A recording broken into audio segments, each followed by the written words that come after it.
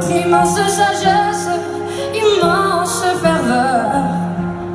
Faites donc pleuvoir sans cesse au fond de nos cœurs des torrents de tendresse pour que règne l'amour, règne l'amour jusqu'à la fin des jours.